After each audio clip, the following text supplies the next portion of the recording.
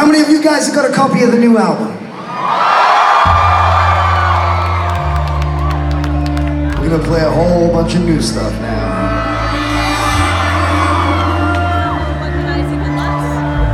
So my friends, it is time to look alive. It's time to get our blood flowing.